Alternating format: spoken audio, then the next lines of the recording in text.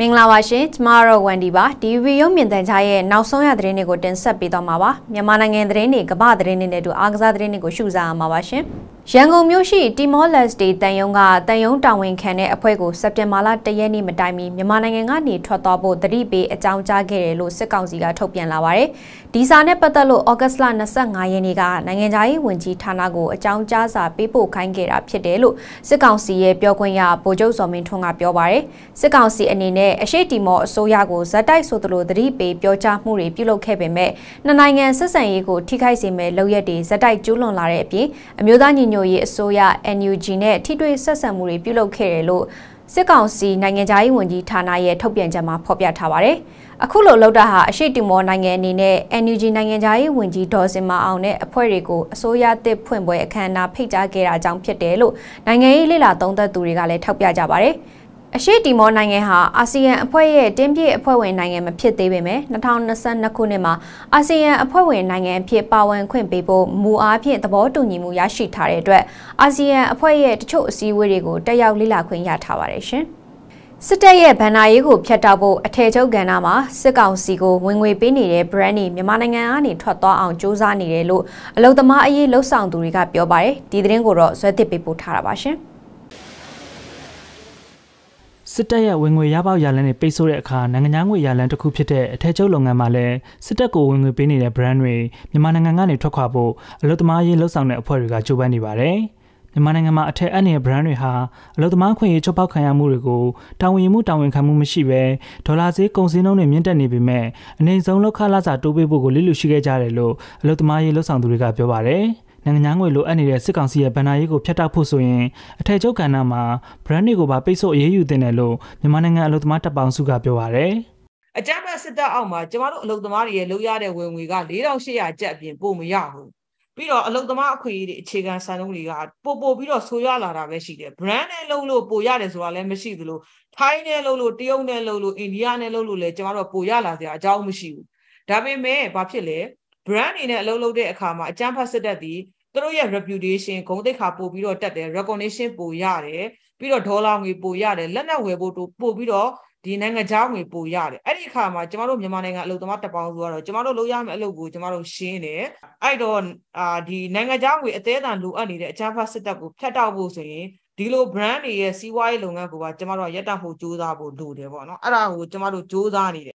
ပြည်တွင်းအထက်ချုပ်ဆက်ရုံတွေမှာလုပ်ကိုင်နေတဲ့အလုပ်သမားတွေဟာအခြေခံလောအားကတရက်ကိုမြန်မာငွေ4800ကျပ်သားရရှိနေတာပါအနေဆုံးလောက်ခလာစာငွေကျပ်4800ကိုတိုးပေးဖို့တောင်းဆိုခဲ့တာ9နှစ်ကျော်ပြီဖြစ်ပေမဲ့လက်ရှိအချိန်ထိလောက်ခလာစာမတိုးမြင့်သေးပါဘူးကမ္ဘာဒုတိယအကြီးဆုံး fashion company H&M company အနေနဲ့စစ်တပ်အာဏာသိမ်းပြီးနောက်အလုပ်သမားတွေတိုင်ကြားလာတဲ့အလုပ်သမားအခွင့်အရေးချိုးဖောက်ခံရမှုပေါင်းအမှု20ကိုစုံစမ်းစစ်ဆေးနေရလို့ပြီးခဲ့တဲ့ဩဂုတ်လ18ရက်ကပြောကြားခဲ့ပါတယ်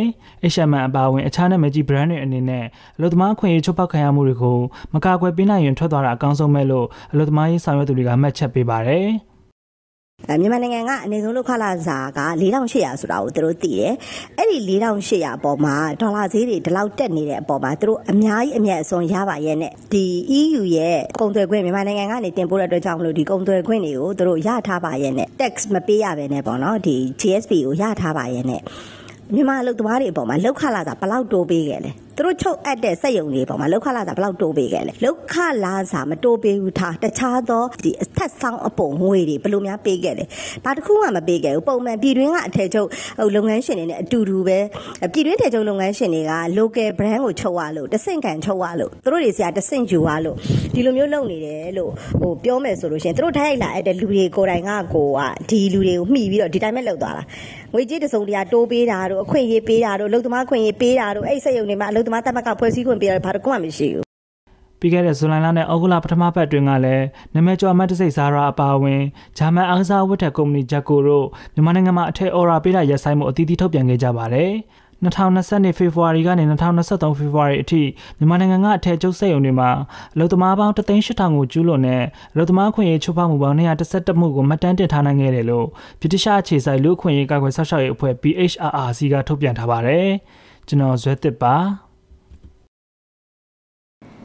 ကရင်ပြည်နယ်မြဝတီအာရှလမ်းမကြီးလမ်းပွင့်ပြီးကားတွေသွာလာခွင့်ပြန်ရတဲ့အတွက်ကမ္ဘာဆောင်စီဈေးကွက်ကျဆင်းလာတာကြောင့်ပြည်ရင်းမှာလည်းပြန်လဲကျဆင်းလာတယ်လို့မန္တလေးမြို့စီယောင်းဝယ်ရေးကုန်စည်ထိုင်နေစီကနေသိရပါဗျ။စောင်းစီဈေးနှုန်းဟာဩဂတ်စ်လ22ရက်နေ့မှာလက်ကားဈေးတပိတ်တာကိုကျပ်1800ကျပ်အထိရှိပြီးဩဂတ်စ်လ28ရက်နေ့မှာတော့စောင်းစီလက်ကားဈေးတပိတ်တာကိုကျပ်8000အထိပြန်လဲကျဆင်းခဲ့ပါတယ်။ စောင်းစီဈေးက၄ရက်အတွင်းကိုတိတိတတ်တာကျသွားပြီးထက်ကြဖို့ရှိနေကဘလောက်ထက်ကြမယ်ဆိုတာကိုအတိအကျတော့တေချာမပြောနိုင်သေးဘူးလို့မန္တလေးမြို့ကစောင်းစီလက်ကားရောင်းဝယ်သူတယောက်ကပြောပါရယ်။စောင်းစီဈေးနှုန်းတွေဟာလက်ကားဈေးကွက်ထဲသာမကပဲလက်လီဈေးကွက်မှာလည်းပြန်လဲကျဆင်းနေတာပါ။ စီစဉ်တော့အနှဲငယ်ကျဆင်းမိမဲ့အခြေခံလူရန်စားတွေရဲ့ဝင်ငွေနဲ့ရှင်ရင်များပြားနေစေဖြစ်ပြီး trader သုံးနေရစေလို့အင်ရှင်မတူကလည်းပြောပါရယ်စစ်ကောင်စီရဲ့စားသုံးသူရေးရာဦးစီးဌာနရဲ့စောင်းစီရည်ညွှန်းဈေးနှုန်းဟာတပိတ်တာကိုကျပ်4065ကျပ်သာရှိပြီးပြင်ပစောင်းစီပေါက်ဈေးနဲ့ရှင်ရင်နှစ်ဆကျော်ကွာဟနေစေဖြစ်ပါတယ်ရှင်